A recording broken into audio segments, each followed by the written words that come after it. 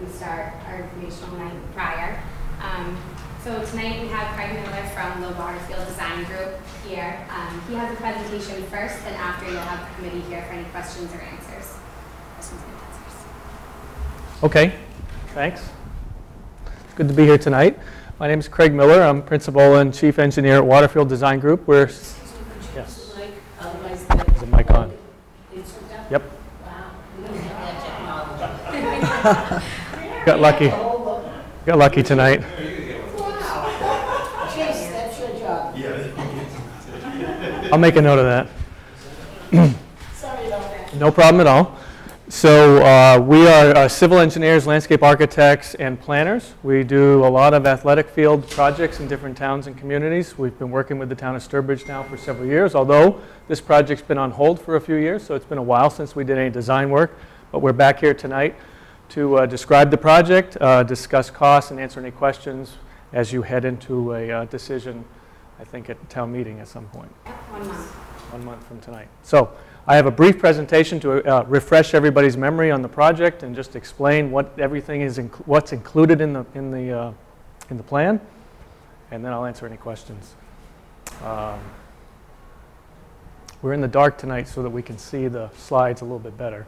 So hopefully this, it's a little blurry. We tried to adjust the focus, but we couldn't do that tonight. So this is the existing conditions and the proposed project. I overlaid the two. You'd have the same thing there, you know? Yeah. So this is the existing gravel road that goes to the existing baseball field and this existing kind of multi-purpose softball and smaller so- size soccer field. Quinebaug River is way down here. Uh, DPW is in this vicinity here, and I believe this is the treatment plant, right? Everybody get their bearings. And so the project, we've, uh, we've kind of whited out all the lines, and I've got a much clearer picture after this, so I'm not going to spend too much time on this, but this is just for orientation purposes. We're proposing a Little League baseball diamond here, a full-size 11 v 11 multi-purpose, multi-sport field, so that's 11 v 11 for soccer. Uh, There are two basketball courts here, a small concession stand, there's parking. This is a bad slide. I'll show you a more detailed slide in a minute, but there's parking here, there's pockets of parking along the proposed road. This is the relocated access road. It comes down. There's some parking around here, and then this is a 6v6 soccer field. So a little closer up on that part of the plan so you can see this in relationship to what's there today. There's the parking as it starts to show up a little bit clearer, the two basketball courts, a small concession stand, and this you see here. And then here is the road. The road, the parking comes right off of the road. That's why they look like they're one and the same because you come in on the access drive and pull into a parking space. So we've kind of tucked in the parking at various spots along the way. Uh, Did I get everything? Two basketball, oh, I forgot the bocce courts. So two clay bocce courts right over here. And then uh, 99 parking spaces, and this road, this new, is, is not paved, it's gravel, so that the water infiltrates right into the soil, so we don't have a runoff issue. Anytime you create new pavement, we have to collect the runoff, treat it, put it back in the ground. Here, we don't have to do that. Uh, And the concession stand, as I mentioned. So, here's, again, against existing conditions, but this, this plan actually brings it to life a little bit easier to talk from. So there is wetlands around the site here. We've flagged the wetlands, and so this part of the project is outside of the wetlands, and in fact, it's outside the 25-foot setback as well. So we're, we're clear with conservation in the location and orientation of this field. Uh, You see, we've got a little bit of landscaping around the field, the parking, right? And then this part is higher by about four or five feet than this area, because, yes, sir. Is the baseball field northwest or east-south? That's a good question. Let's go back. I'll tell you in a second.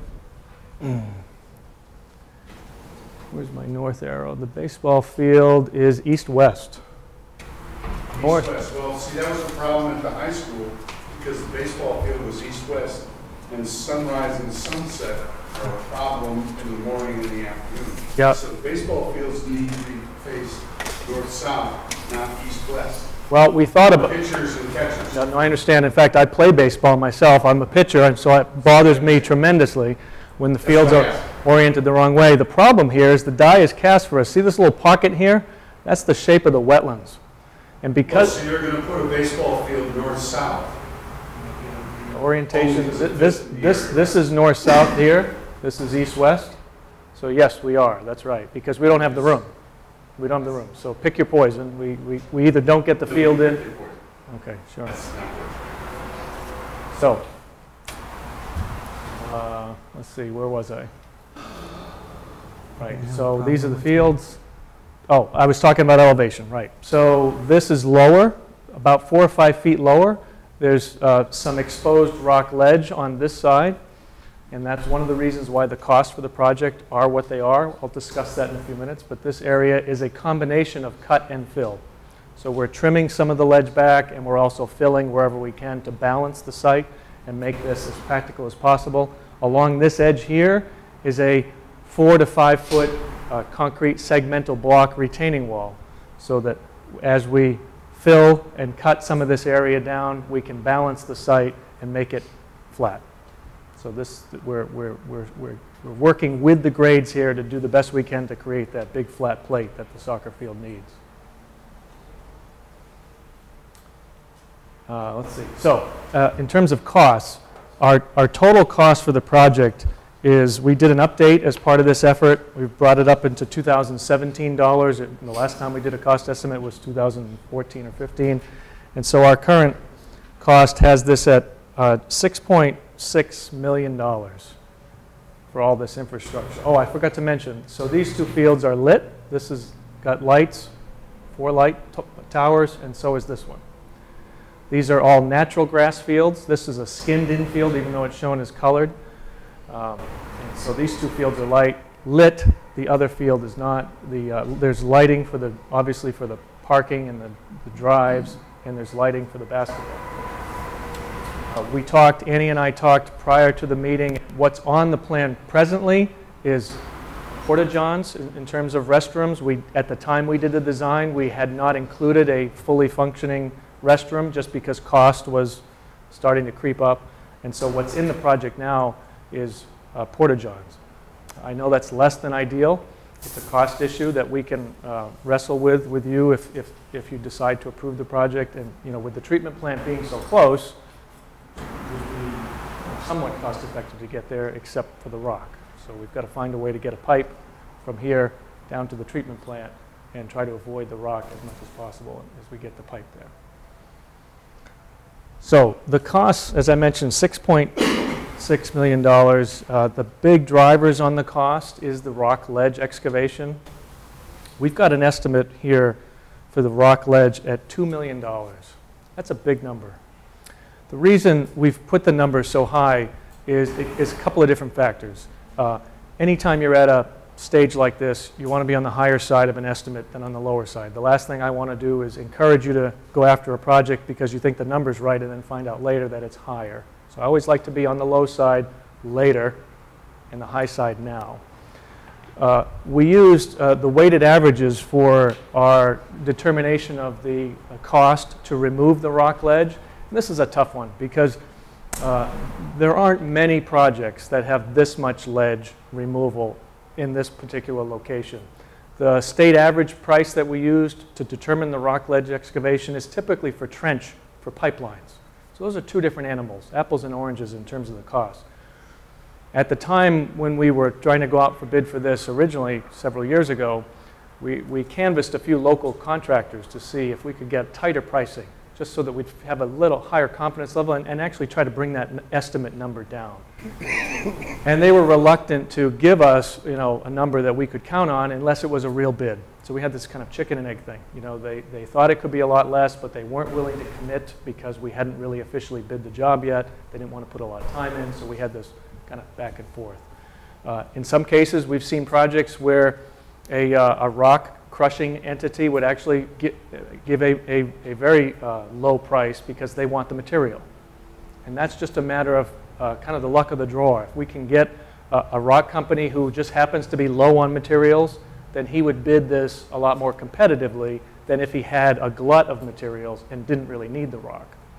In some cases, we've seen other projects closer to Boston where they come in and get the rock uh, for free because the materials are valuable to them. I don't expect that we'll have that particular situation here, but the point is, is that the rock ledge number could be a lot less. We think it could be as little as 800,000, but I'm reluctant to say it's going to be 800 and find out later it's really 1.4. So there's a lot of um, there's a lot of play in that rock ledge number, and it's hard to pin it down exactly and tell you, guarantee, here's the number.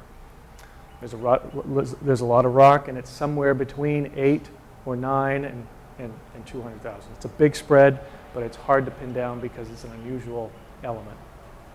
The other uh, driver of the cost is our contingency. We've got a 15% contingency. We always have a contingency in pre-construction pricing because we want to be able to accommodate the variability of the bidding environment when the project finally does go out to bid. Hard to say if, when you put this job out, that if the local contractors are going to be busy and not too hungry for work, or they're going to be looking for work.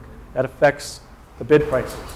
So we always put a contingency, and normally we try to have the contingency around 10%. In this case, we've got a 15% contingency, and that ends up being $850,000. So that's a big number as well. If we get a good bidding environment, that contingency could go down to zero. We could just be dealing with our straight up estimate for all the different items, which, you know, is, is uh, 5.7. So it's, uh, it's a little bit of a variable to try to pin this down exactly. One thing that I recommend, because the ledge seems to be and it was the last time we did this. The rock ledge was the defining element in whether the project got an up or down vote because it's, it's a lot of money and people had a hard time wanting to pay that. My suggestion would be put the job out to bid and see what you get because you can always pull the bid back if the bids don't come in, in in a level that works for your budget. You can always pull the bid back and not do the project. But it costs you very little money to put the bid out on the street and actually see what the competitive pricing is going to result in. And that way you'd have a real number from several contractors that would tell you where the rock ledge is, for example. And through the competitive process, it would also uh, tend to tighten up that contingency number. So you might find that this project is, as I said, a lot lower than the 6.6. It could be, you know, take a million dollars off of that and take some of the contingency. It could be, you know, in the in the, in the low, low fives. Any questions? Questions about the project itself, the different elements that are involved? Go back to the previous slide where the multi-use, the other multi-use field is. Now, are you eliminating those two, uh, I guess the softball and baseball field over there, they're being eliminated and that soccer field is being added? It, it, they're not eliminated, we're adding to it. So it's going to be added, so those, those fields going to be adjusted as well? Those are going to stay. Well, we're not adjusting them as part, as, our con- as part of our contract. We're adding this one in, and if you, you know, stripe it differently, you know, you, you could do that outside of the contract. If, if we add any modifications to this, just like we're not modifying this So the three fields that are existing right now are not going we're be not, adjusted? we're not touching those, correct? Right. And by multi-use fields, it's the two soccer fields. Correct. There's no other application for those fields? Uh, well, so multi-use. Really, this is the multi-use because, you know, it's the, the smaller one, the 6v6, could be used for practices for other elements like lacrosse.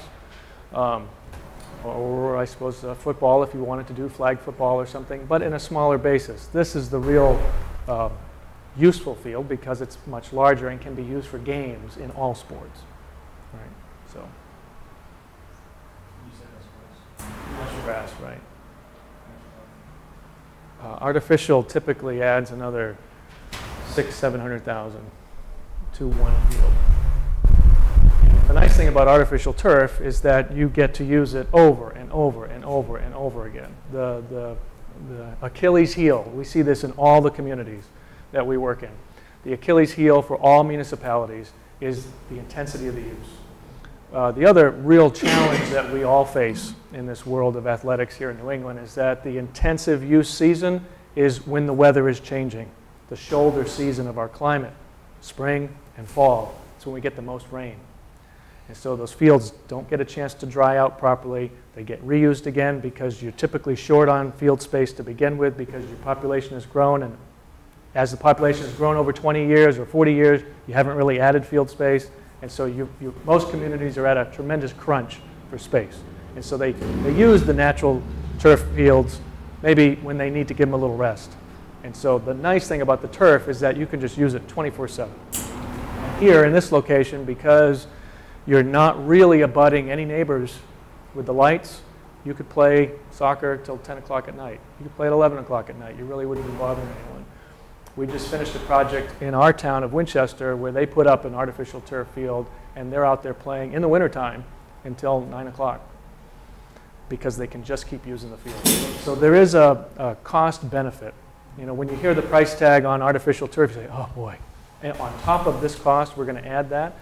But when you consider what you can get in terms of use, it's almost as if you pick up another two or three fields because you can just use it around the clock. The other thing that Annie and I have talked about, and we talked about this with Lynn way back when we were first awarded the project, uh, we thought from the beginning that this site here, and particularly in your town, would make a perfect, a, a perfect uh, uh, use for tournaments.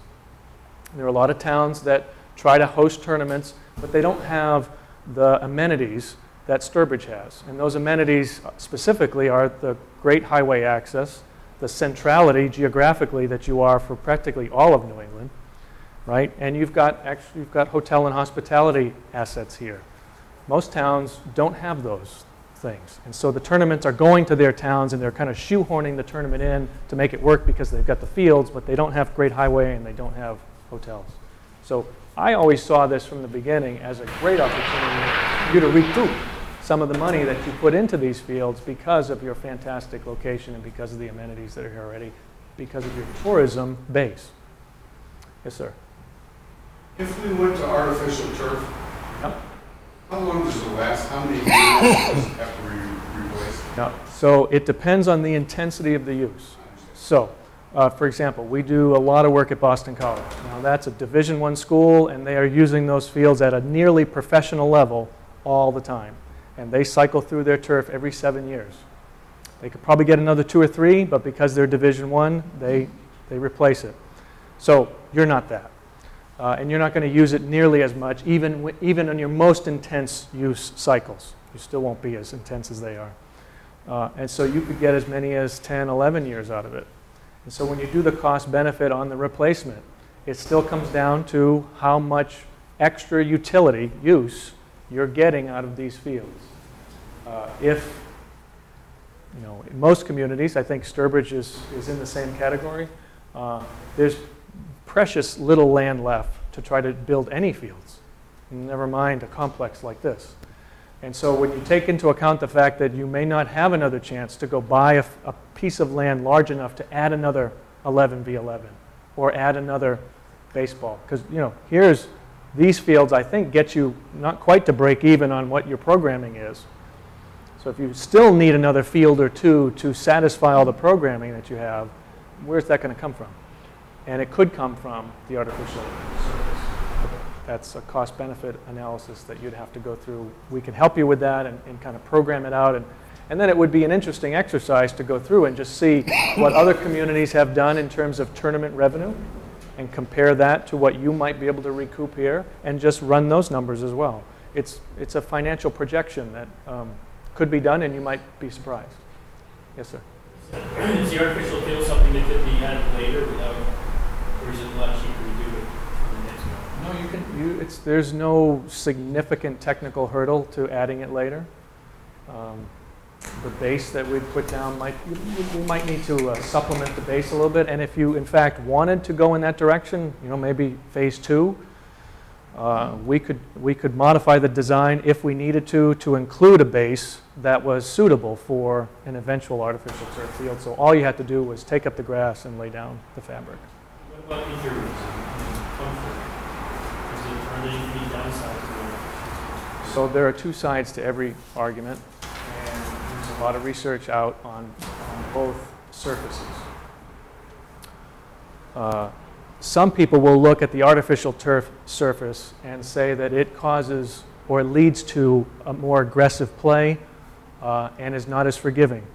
The field that we just did for the Winchester Soccer Club uh, is one of the best um, materials on the marketplace, and it's got a, a, a robust rubber uh, infill. And I've been on it myself several times. It's great. And, and people who play on it love it. Uh, the downside to a natural turf grass field is that if they're not maintained properly, they can become hard as rocks too. And so there's a maintenance regimen. There's an ongoing routine that the town has to, has to keep up with on the maintenance of the fields, not only to help keep them softer, like you want the natural turf grass fields to be, but also so they can sustain that continued use that is inevitably going to come. So it's, you know, it's right down the middle, really. I don't have a definitive yes or no to whether uh, turf is, without question, more injury prone. So you asked to do it in grass? Is that something else? We were asked to go in the, in the natural turf grass direction for initial capital costs. I think there was a discussion about turf, but because we were facing some pretty large costs to begin with, the decision back when we did the design in 14 was to stay with grass. I'm Assuming that none of the uh, maintenance with the numbers that we're looking at on the paper over 20 years, uh, none of it is included in maintenance of the fields. That's Correct. Some of the price, the, some, some of the numbers that are uh, uh, the, in the cost estimate include things like, uh, you know, the bases, the dugouts. So there is some equipment built into this number, um, but no maintenance, no. Landscaping as one of the line items, so That's landscaping to support the project. the original. Yep, that's right. About, uh, how long is this, this project, would you estimate that it would I'd say this is probably a 12, well, I'd say we probably need two construction seasons, only because we probably couldn't get everything done in one, and we might spill over into the spring of a second season. But I'd say, The entire summer, the spring, summer? yeah, it- it- right. Ideally, we'd want to bid this over the winter, because that's when the bidding environment is the most competitive. That's when the contractors are hungry, they don't have a lot of work, they finish their summer work, so the ideal time to bid this would be right around January right after New Year's, let them stew on it for uh, six weeks or so and get prices back so they can have line, work lined up for the coming spring. Uh, let them start right about you know, April, you know, late March on the site prep, take the entire season right up until October, November. And it could potentially be done in one season, but I wouldn't be surprised if it, some of the finish items get spilled over to the spring of the following. And, you know, and there again, it depends on how how mild a winter we have. We've had some real mild winters, and sometimes the little loose ends can be done in November, December, and then you're all ready for the spring. How much of a, of a variable is that ledge work? How much of it will determine the path? Well, uh, right. So um, we we've set up the bid to be a lump sum bid. So we it's not going to vary. We're going to give the contractors a. Uh, we've done some test pit information. Uh, what we could do to try to tighten up that ledge quantity and take some of the risk. You know, anytime there's risk in a, in a bid, the prices go up because there's unknowns. So we've done some limited test pit excavations to identify the ledge. We know it's there, and you could see it in some places. It, it crops right out of the ground. Uh, so one way we could try to enhance the bidding environment would be to do some additional test pits to say, okay, we know where the rock is, and here's the profile. And then that would give the bidders uh, larger confidence, and we'll get a number. Um, but uh, it's not, once we receive the bids, it's, the price is not going to go up. It is what it is. Flat rate is inclusive. Lump sum, the- he bids, the contractor bids the job for everything that's included in the bid documents, including the ledge, and he owns the whole thing. During the time of construction, the other fields would be, there'd be no access. Oh, that's a good question. Let's, uh... Oh. So the first step, right, is to relocate this road. So once, you know, we relocate the road first, you know, I, you know, because here's, here's where most of the work's happening. So once we relocate the road, uh, we could allow access to here and here. Sure. So it wouldn't be, wouldn't, wouldn't be shut down entirely. Any other thoughts or questions? Question, how much has been spent on the design so far? I didn't, uh, I didn't come prepared for that one. I have to get back to you. I don't, I don't have that number off the top of my head. We've refreshed our construction estimate in the last several weeks at the request of the town, but we haven't touched this job since 14. So I don't know. And How much of a job would be to do more, better, better understanding, extend the road? Uh, off the top of my head. Uh, So a average, uh, a backhoe for a day, it varies from where you are in the state, but usually about $800 a day, including the operator. So let's say we do, you know, four days of additional test pits. You know, Eight times four, $3,200, probably another four, three or $4,000 for us to document that. So we're at, you know, something under 10, maybe seven or eight, somewhere in there.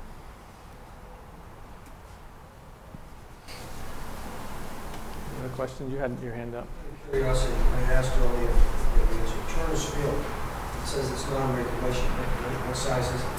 Just out of curiosity. It's regulation. It is reg- I was in That's the- ridiculous. regulation for Little League or regulation? It's a major league field, so the left field fence is three hundred and seventy So yards. it's it's ninety feet bases, bases and Oh, ninety feet? everything in the field is regulated. Sixty feet, six inches Problem long. that she points out is the length of the outfield fences. Left field is two hundred and seventy yards, right field is short because you have the river. Right. That's the only problem. It's you could change it, right? Another problem is there's land behind Turner Field, and you could put in other ball fields. I don't know who owns it, I don't know anything about it. But the fences could be moved back to make that. The right field fence can't because the river's just, it's, that, that, that seems, maybe she can answer the question. That's, seems to that an issue. right field line is a generous 230. And that's being generous. Right. And, and that's the prob, that, that's, that was the problem. And that, that would make it an illegal uh, senior Ruth field. It's a senior league field. Now, I want to point out on something. T-ball has this many kids. Farm league has this many kids. Minor league has this many kids. Major league has this many kids. When you get to the senior leagues, there's a lot. More. We had trouble twenty years ago fielding two teams. So the service hasn't grown enough. That's my only, So as a Little League field, two thirty is. it's not Little League field. No, if it It's- were, It's it ninety feet before. I understand, but if it were downsized for Little League field, two hundred and thirty feet. You could, you could. So, just a just a clarification, though, 20 years ago, I played it, and it was, it was six teams. So, I think it's important. We have 200 In adult senior league? players. that No, I mean, 30 years ago, we had six teams. Not the senior league. No, the little, Yeah, she had six teams Little League, right, but the senior league, they Senior, had I trouble. understand. That was my point, was they had trouble getting two, two teams. that's senior, league, right, and I think that's. And I had a son that played until he was nineteen, and he would travel around to find the teams that he played on. So, my only point is, as the kids get older, they do less baseball. Yes. Now, if I could give you an update on numbers, um, for 2017, we had 25 teams for Little League, ranging at 290 players, and that's not including the 200 adult participants. Is that major league, minor league, farm league? That is not including any of the adult participants. That's an additional 190 who utilize terms. No, no, no, I'm asking, how many T-ball teams did you have? That's, this is the full Little League system. How many farm leagues teams did you have? I'm not. We don't get those numbers. The president only gives us a, a, an I umbrella of was on the League. board, you could, the, the numbers are, should be public. Bring them to us. They should be. How many We don't, we T-ball? just don't have a use for breaking, I can certainly, in the morning, I have all the documentation, I can get that to you. But just something to consider is it's hundred and ninety adult players using turners. So that's That's for two different teams. T-ball all the way up to. No, major that is not including T-ball. That is two adult programs. We have the laid back competitive, and then we can- we have the American Legion, and we're just under two hundred participants. So that's not including, like, this is, a big part of this plan is to show the need for more than just fields. But another big part of this plan is to recognize that the older community has the same needs. So that number, 200, I'm- it's about 190, I want to be as accurate as I can. That is just for American Legion and laid back competitive. That is just our outdoor athletic teams. That doesn't include our adult, you know, volleyball, basketball, anything. Those are just the two adult programs, and we're already at just about 200. on top of the 290 for child participants. And that's for Little League alone. So that's farm league, minor leagues, major leagues, and senior leagues. That's I- one, two, Two leagues, 200. four different leagues. Two You got leagues. two hundred and ninety people. No, Incorrect. but- Two leagues, 190 people. That's adults only. Then the Little League program, which you can break down into the age divisions if you like, that's about 290. And that's farm league. and That's all major the under 18, And the senior league, not including the senior league. which is over thirteen, right? This, the two programs, they're 18 and up. We'll make that competitive with American Legion. Well, major leagues used to be maximum of twelve years. You're right, 13 and over are going to play on a major league diamond.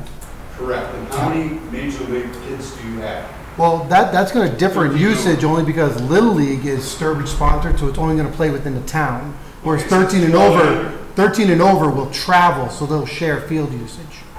Correct. My question is, major league was eleven and twelve year olds.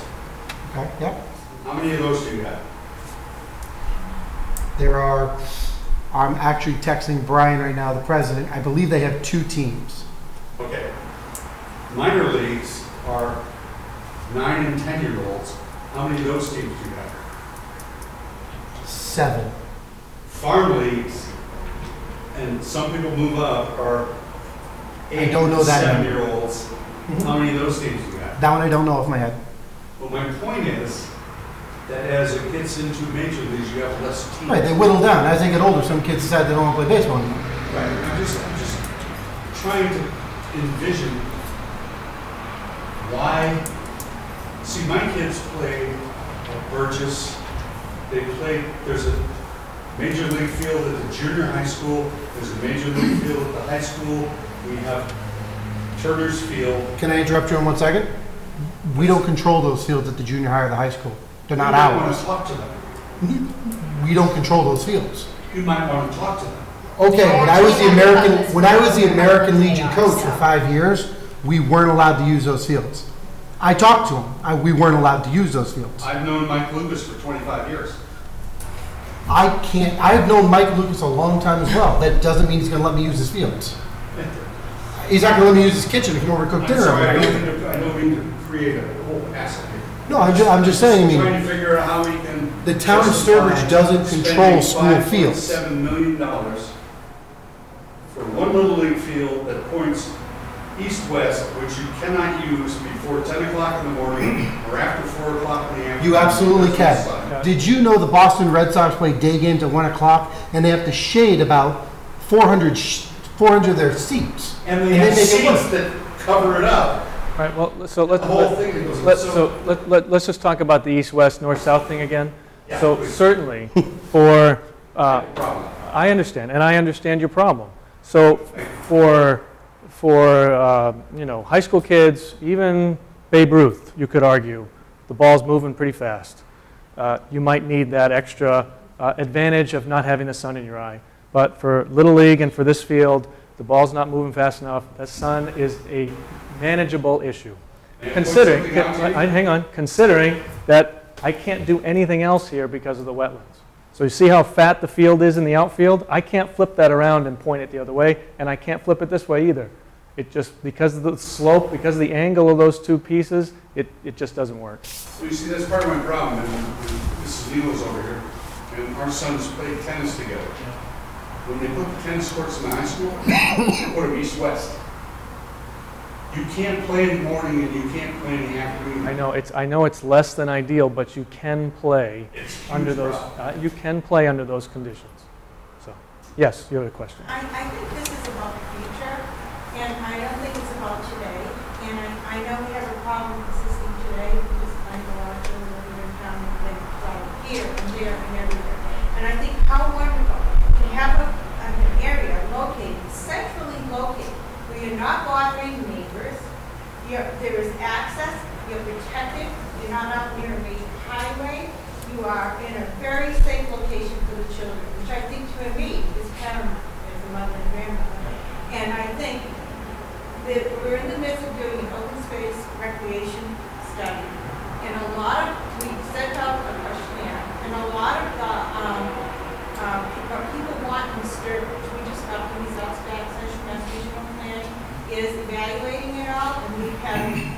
out of the results. The population is growing older. They want things for older people to do, bocce courts. If you have, I don't know, other tennis courts No, basketball. no, no, basketball. But anyway, um, and then you have a multi-use recreation, softball for, for older people, things like that. I think this places to walk, just to walk and watch the kids. You have a wonderful, have the, you're, how lucky are we to have this opportunity? And I also think is looking forward, is obviously there's plans for all kinds of housing up in different areas of town. We need recreation for a healthy society. And I believe that, um, this provides us, we've done, we've paid for this stuff. And I think it's really, like I said, it's looking towards the future. And I think this is what we've seen that people want. They don't just, they want it to be for old people too. And I think that gives us and, and I think, uh, and and also, like I said, it's not bothering people in with lights and everything, but that's really, really Uh, Most, most communities are forced to deal with fields that, where neighborhoods have grown up around the fields. Neighbors in the new, in the houses now are not as tolerant as they once were. And, and so you get that conflict where people just don't want it in their backyard anymore. And here, you don't have that. The other point I want to make is something that you mentioned as well. We, we're under contract now with the town of North Andover to do an $8.5 million uh, multi-purpose recreational plan. And it's very similar to this, larger, but similar. And they're into it uh, full bore. And it's because they view it as a quality of life and as an amenity for their town, just like an investment in their school system.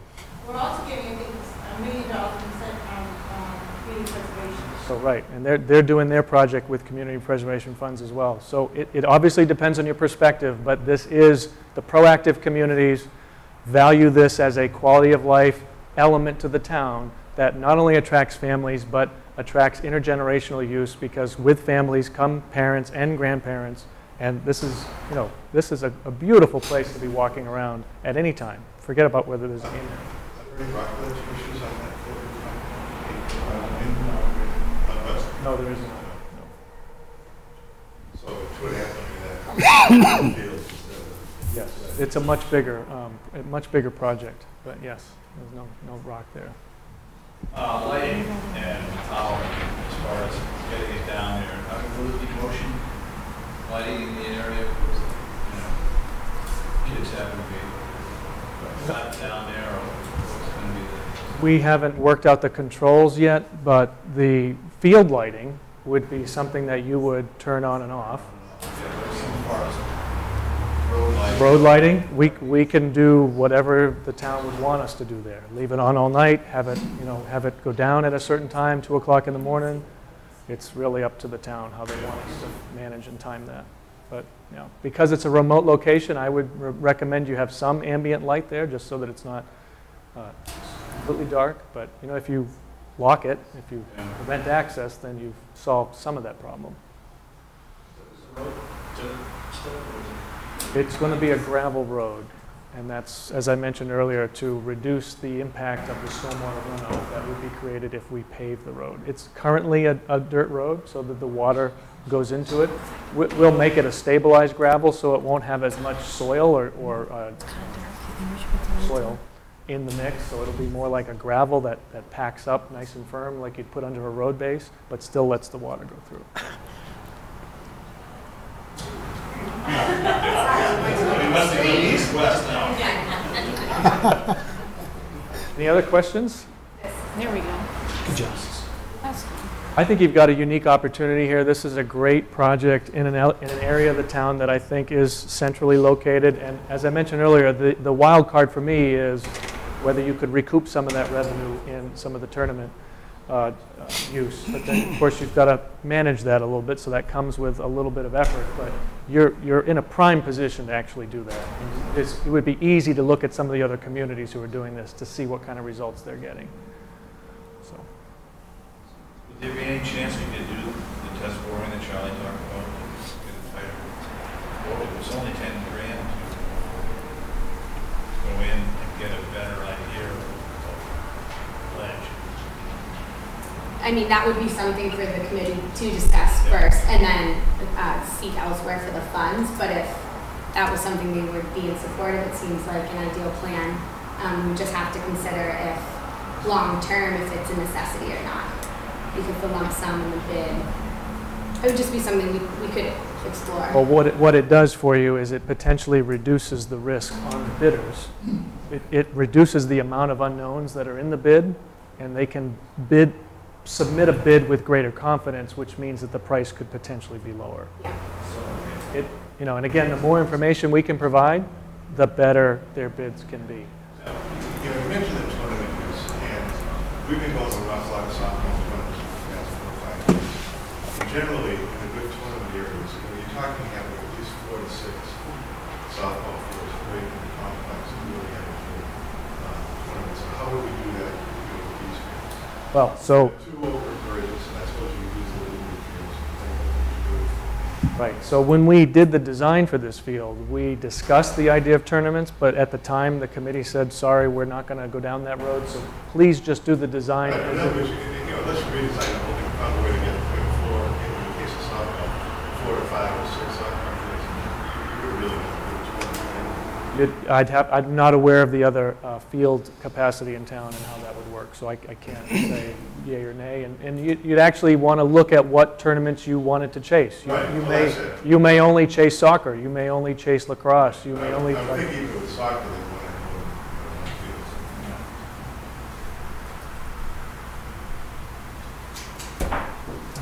My question's to the board, how did we end up at the town barn fields here? Did we look into the Plimpton properties or even the rec property off uh, Cedar Street with that hill around and eventually sell? Yeah, do you want someone to Sure. answer? At the time this happened, and it was before I was on, which was four, or five years ago, these plans predate everyone here except for, hey.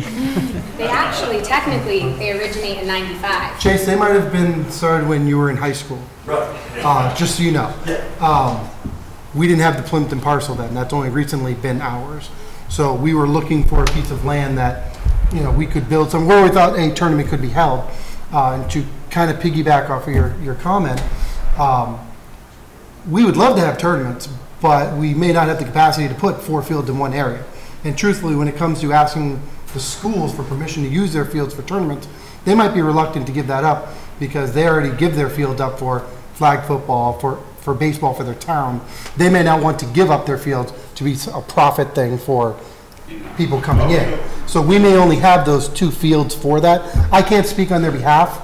I'm just speculating. But I mean, with Burgess, you know, we went to the two full-size uh, regulation uh, Little League fields and then added two softball fields. I mean, the whole discussion of the building committee and going back forward was the idea of of possibly being able to have tournaments. I mean, I don't know how much use those softball fields get, yeah, but I mean, we spent almost four hundred thousand dollars extra on that project, with those fields in there, with all the And I, and I can't speak educated, educationally, educatedly about the softball fields.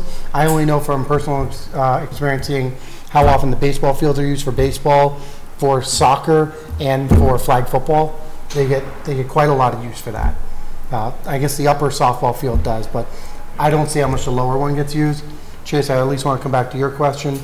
Um, so the Plymouth, the Plymouth Plantation parcel, we, we didn't have, so it wasn't really part of the plan. The other piece you were asking was, Uh, the rec area off Cedar Street, if we remove that hill of gravel and sold it, is there enough room? I think we have 14 and a half acres over there. so in, in our capital plan, like our, our long-term plans, uh, that's, that's a part of it, spinning around Turner's and working with the Plimpton parcel.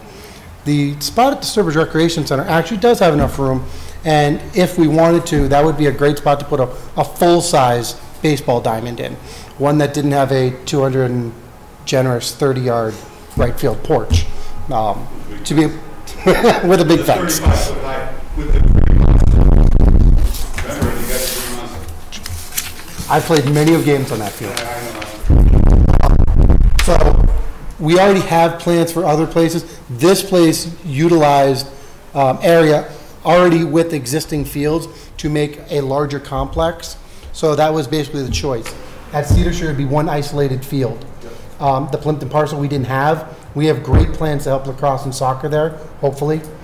Um, and Turner's, in, as we've talked about, can only really be one standalone, even if we rotated or did whatever we could. So this is where that, this plan came from, and which is why we've worked very hard to get it approved. In Good. addition, the Plimpton property is also recently marked in the past six months as an endangered species for a specific type of snake. Um, so we most likely, fingers crossed, would be able to still put the original plans in, which would be a central location for multiple soccer fields.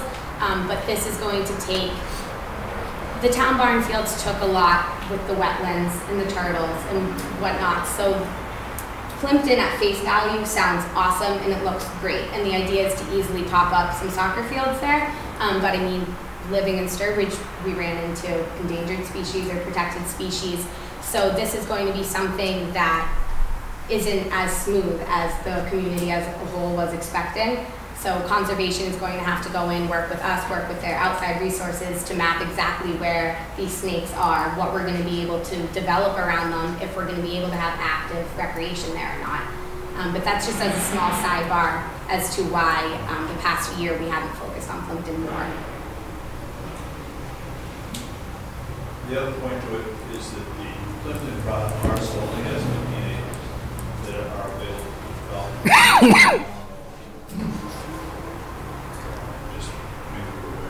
And I doubt that there's enough dry land to put a ball field. in. Seems- You're really talking about s- Yes. serious wetlands. Well, we did talk about that potential issue. Again, it's, right now, it's not the, we're not gonna get done in the next two or three years. We would have to do work to see about that, but that's the thought. Yeah. Land-wise, there's enough. With conservation, we're gonna have to figure it out, if we can.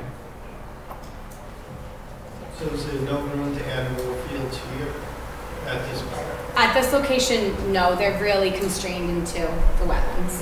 Now, how many acres are we developing here? Uh, I don't, off the top of my head, I don't know. How many acres is it total? Is it down there? Uh, I don't know if it's on the plans here. We wouldn't have a reason to put the amount of space here, so. Oh, wait a minute, no. I don't have that. I don't know how many acres it is. Or the waste treatment facility. As as far as maintenance to these fields, like the mowing, obviously we're gonna do fertilization, things of that nature, um, would it be done in-house by our town DPW department, or would it be subbed out at cost? So that actually comes from three different, DPW does a great amount of work. We also have, um, from our operating budget, we have each year certain amount set in, we use TruGreen, we them for time. Um, on top of that, Little League also chooses to maintain their own field professionally and they use an outside source. Um, so it would be a combination of kind of the three options that we have. Fields are also, they're not irrigated, so there's a provision in, in the project to build, uh, to sink a well, but we, for budget reasons, we didn't include irrigation, so that's something that you may want to consider, depending on what your preference is. We possibly use the The pond. well would be thirty thousand for irrigation. Get the water up the hill, so, yeah. Probably going down there to get the water anyways with, the- with the well.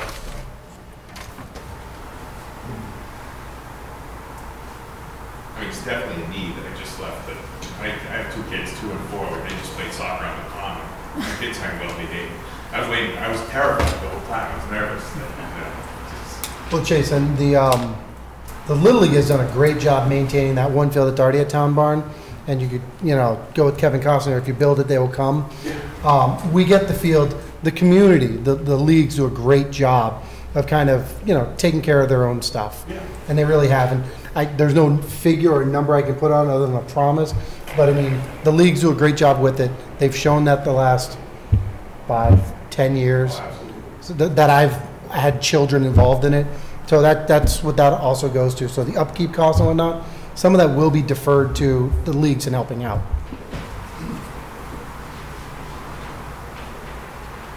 Those maps and fields, it's, they're- that- they don't look right on the plan, like they, they, they're- they're constantly doing something. Oh, yeah. You know, The common is really a great point to have if your children had practice on that tonight. Yeah. Right, that's, what- that's what I'm saying. It's nerve wracking. it's an overall reflection of how crammed we are. Burgess, we don't have priority to. High school, we don't have priority to. So we have our smallest age group playing on, a loosely speaking, a small grass patch next to a main road. It's a concern for everybody on top of just not having, you know, the proper location. We're not providing them with what they truly deserve. But on top of that, it's a historic district. We do have, you know, we're kind of stepping on the tree warden's toes by having athletics down there. Um, just to kind of reiterate that. What's the distance out to left field? Okay, give me a second. 205 feet. So I mean, if you roughed it out, and it was like, um, you know, six by four, six hundred by four. The whole area. is-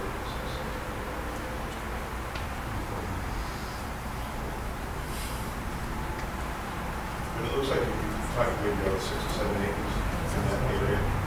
So, I mean, is what we have. And one of the big problems. How many obviously, is acres? the cost of that. I want to know how Ledger. many acres the You property mentioned is.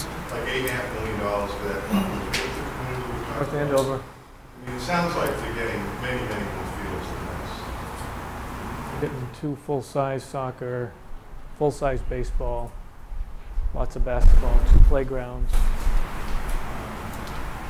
I mean, you know, you can hear, you know, Warren Way to spend six and a half million dollars on these fields versus eight and a half for that kind of complex. And I can see the town, if we had the ability to do that, easily going for the eight and a half million or something like that. But The hard part here, I mean, I saw a number before that said it was like three or three and a half million on the pledge, but you say it's to. Two, no, and it hasn't been, it was never three, three and right, right. I mean, Two, because That's a huge amount of money. two's a big number. For something that you're getting nothing more out of. Well, and what I, what I tried to go out of my way to explain is that I also think it's high, and I don't think it's going to come in at $2 million Right, right, at all. get this thing passed at town meeting, I, I don't think you can go in and say six and a half million, maybe two and a half inches in the ledge, and expect people to support it. Well, what you can say is, it's potentially between eight, 800,000 and 1.2 for the ledge, but we're holding a placeholder at two in this estimate, and if it's two, the project doesn't happen.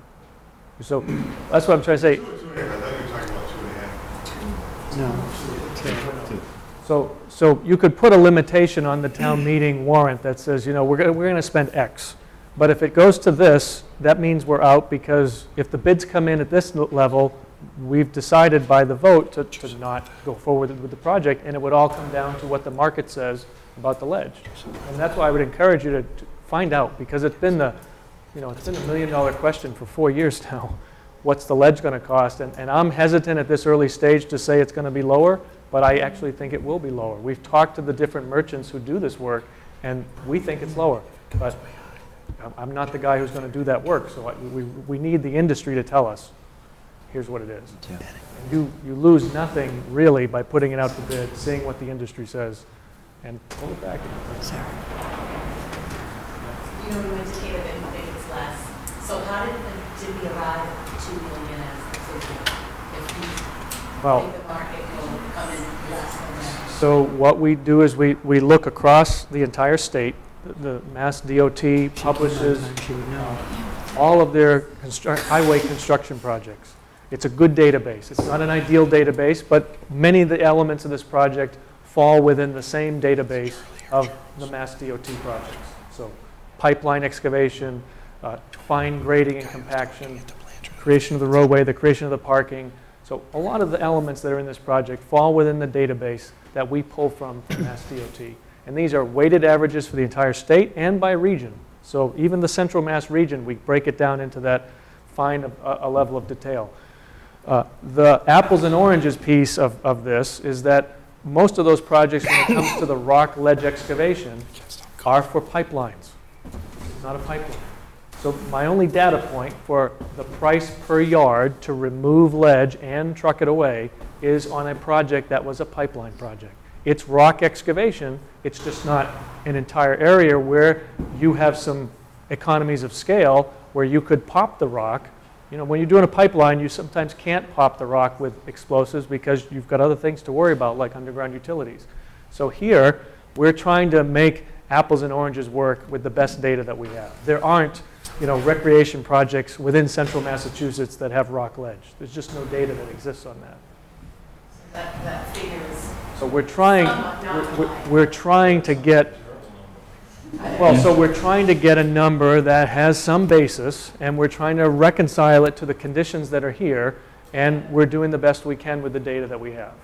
So, Um, Isn't the ledge value to the right contractor? Sure. you know? and when we, Did you so take that into account, or is this strictly from a cost perspective? we, we have to play it strictly by cost because Because I, rock would be an asset to the right. So here, what, what, what we did four years ago, uh, when we were wrestling with this very same question, we called uh, rock crushing companies all over New England, mostly in the Massachusetts area, and we tried to get them close to Sturbridge. And we asked them, okay, we've got this project, here's the location. If we put it out to bid, here's the amount of rock that we think is here, what's your interest? And we got variable answers. We couldn't get any one of them. We talked to four different companies. We couldn't get any one of them to say it's going to be X. They asked us, well, is this going to be a bid? Is, the- is the work actually going to come out sometime soon? And I had to say no. Okay, well, why am I talking to you then? If, if, uh, why would I, you know, so the, the rock companies were not really eager to jump in and get their hands dirty with the numbers because they knew the job wasn't imminent. So they said, well, you know, when the job's real, come back and talk to me. What we also found when we talked to these folks is that it depends on how much material they have on hand. Some of these guys will stockpile material for years, and they've got a huge supply and they don't need any more rock. There were two of the folks that we talked to who said that to me uh, verbatim. Look, it's great that you've got all this rock, but I have no interest because I've got a ton of it. I don't know what to do with it. So what you need is to line it up at exactly the right time. The other variable is that the further away you go to get the rock removed, you know, the contractor, the more costly it is because trucking is a big expense here. And we looked around, we really can't hide the rock on the site. So we might be able to take it out of this location and, and it'd be a lot cheaper if we could find a place here at this site to, to spread it around and reuse it. But we're so tight, we're so hemmed in with the fields that we can't just make a rock pile someplace. So there's a trucking element in this as well. So, you know, we're trying to find rock, rock companies that are close to Sturbridge, that don't have a lot of materials, and that are eager to do this. And It's just not many of those. That's- You're not actually actively doing this, you did this once. Yeah, we did it four years ago. Yeah, four years ago. Things could change. Yeah, things could be completely different now. Right. You said weighted average, which is something that I'm not familiar with. Is that the mean, the medial, or the modal average? So I, I'm sorry. a weighted average. I, I I, don't know what weighted average means. Okay, so weighted average means that they have, in a given year, in, in all the districts of Massachusetts, they have, let's say, 500 different projects. Each one of those projects has different elements, but some of them all have, you know, site prep and pipeline excavation, and roadway subbase, and all the rest. And so they take those bids from actual projects, they tabulate them, you can look at the average of those bids for that region, and then you can compare. Mean, medial, the modal average. No, I'm just telling you what it is. Third grader, that's third, that's third grade math. There's the mean, the medial, and the modal average. I'll give you an example. There are ten people that make ten thousand dollars a year, and one person that makes a million dollars a year. The mean average is, total is two million dollars. The mean average is one million. That's one. The medial average, is you divide the number, there's eleven people, you divide two million by eleven, the average is hundred and ten thousand dollars, which is wrong. The modal average is the most common number, which is ten. That's more accurate than the mean, the medial, and the modal. When I was in the, that business, and I saw people use averages that fit their argument. It's smoke and No, no, mirrors. I- I- Straight up, I- it's I- small. I- I- Make I- arguments against why I themselves. asked. Okay, so, any other questions? I got one for, Charlie, can I ask you a question? Um, So asking about the ledge and how expensive it is. would you, as a Sturbridge resident, be more apt to vote uh, yay for this if there was a cap on how much could be spent on that excavation? Well, I gue- I guess it would depend on um, how realistic it was, and if I voted for it, I- I'd want to see the project go forward. I mean, that would be, you know, the whole idea. I I think the big thing here is to try to get the best price, you know, estimate possible, you know, on that, because whether it's 800,000 or 2 million, it's still an awful lot of money when it takes away from other things that we do. I here we're going to spend six point something million on this thing. We're not going to have restrooms, I mean, you know, even the gravel road, I don't know how much more it is. I've, I've heard of these pervious asphalt things that have things drain through. I mean, how much would it add, you know, to, to be able to do something like that and still have, you know, water get into the groundwater? I mean, if we're going to spend this kind of money, I, I, I think we'd like to, you know, feel that it's going to be, you know, the best it can be. And certainly, you know, the albatross back with having eight hundred or two million for the, for the ledge is a big deal. It really is. And the portion of what we're getting out of this, total cost, it's huge. Not, Yeah, and, and that go, that went into a lot of the discussion around it, because, you know, I'd love to have a paved road, I'd love to have bathrooms down there, I'd love to have another field down there. I, there's a lot of things I would love to have down there. And like I was talking about, you know, Kevin Costner, Field of Dreams, build and they'll come. I also referenced the, the field that's already down there, and what the Little League has done for that field already, with the dugouts, with the batting cages, with building their concession stand, you know, all that they've done to add to that field already. Mm-hmm. I, I, I, I mean, I'm not sure to say it's an empty promise because of what they've already done. I hope that in the future, we will have restrooms down there. I mean, I hope we can get, you know, some other things down there. But Well- as it stands right now, I want to get fields there. And so my question was, if there was a hard cap on that, you know, would, would that, do you as a voter think that would help sway you? Because I don't want to gouge, you know, the taxpayers and all either. And I understand exactly what, you know, what water, what, what they're doing, Waterfield Design's doing, is they, they don't want to come back and say, look, look, you know, we said a hundred, it- I mean, a million, it's now two million, they look bad for that. So I mean, I, I get what they're doing. I mean, I I think it'd be worth spending small money to try to get as, as good an idea as possible of, you know, what the ledge really is going to be. And I'm not opposed to that at all. And the reason that I asked initially how much we spent on the design already is that, um, you know, we do have the, and I, I didn't know about the, you know, the snakes and whatever. But I mean, if we're talking about, say, five and a half, six acres, it's not a rough estimate of this developed area. Right. We have fifteen there, and I don't know what the, you know, the parking is up there, if it's level or anything else. But, I mean, it, it depends is, you know, how much we have invested in- into this and what we're really getting from it, I guess is the real question. But, you know, to answer your question, I mean, I think that the firmest price we can have, you know, estimate on, on the ledge is very, I, I, I can't imagine people voting for this thing, it might be as much as two million dollars that we're spending out of six point five million, just to So one of the things we could do as part of that uh, test pit additional that we were talking about earlier, trying to refine the ledge quantity, is maybe go back and canvas the contractors again. Four years later, find out where they're at, see what their tolerance, their interest is, and try to get more information out of these local, not so local uh, ledge contractors to see if we can add more intelligence to that. I hope we don't have to go to the town with a four-year-old, just, We've updated the, the, the cost to 2017. you know, it- it- you just, you just estimated the output. We, yeah, right, we didn't go back out and didn't go back out.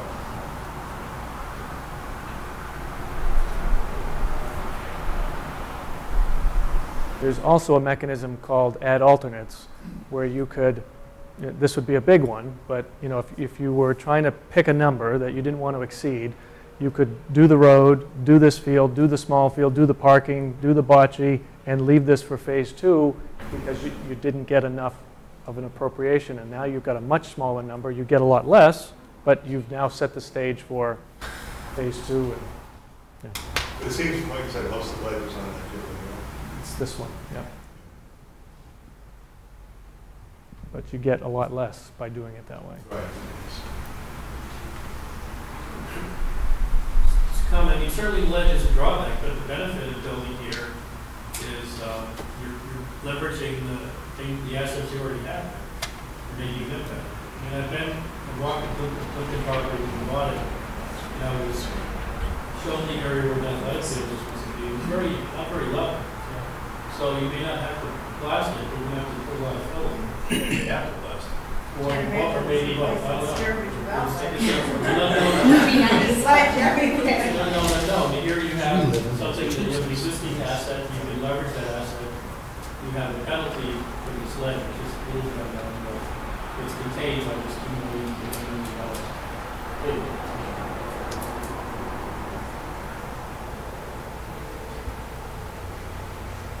I don't know why you didn't have a crush on what, with all that rock.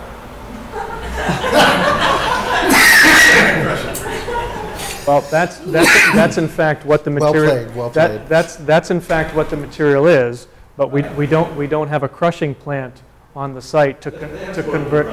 Yes, they do, but that's up to the, co- you're right.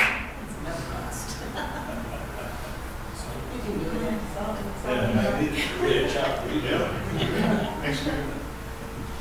Any other questions, any other thoughts? Thank you very much. Thanks for your time tonight, really appreciate it.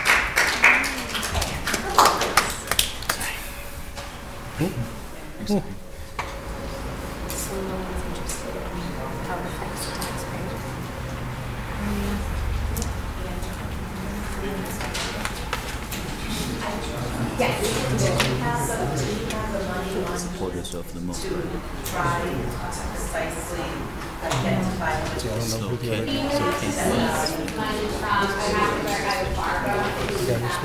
Good one is